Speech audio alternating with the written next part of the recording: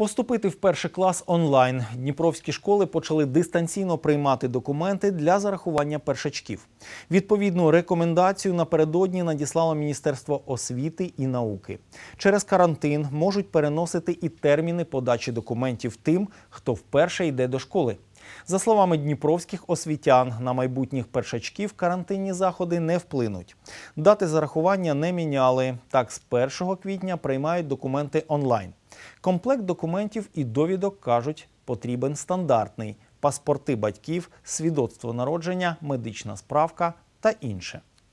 Батьки повинні зайти на портал School.ISO, перейти на сторіночку зарахування до закладів загальної середньої освіти, відшукати свій заклад і заповнити заяву і всі ті анкетні дані, які там вимагають. Також можна надавати документи на електронні адреси закладів. Працівники закладу освіти відпрацьовують надані документи, складають список. Прийом оригіналів документів буде здійснено після припинення карантину упродовж місяця.